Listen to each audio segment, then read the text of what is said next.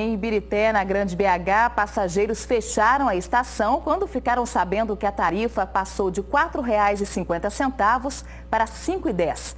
Nossa telespectadora Isabel Souza fez um vídeo e mandou para o WhatsApp do Jornal da Alterosa. Os ônibus tudo parado, tá desse jeito aqui hoje, ó. Todo mundo querendo reivindicação, melhoria de ônibus, a passagem aqui aumentou um absurdo.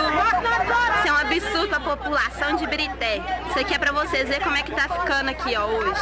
Todo mundo perdendo serviço.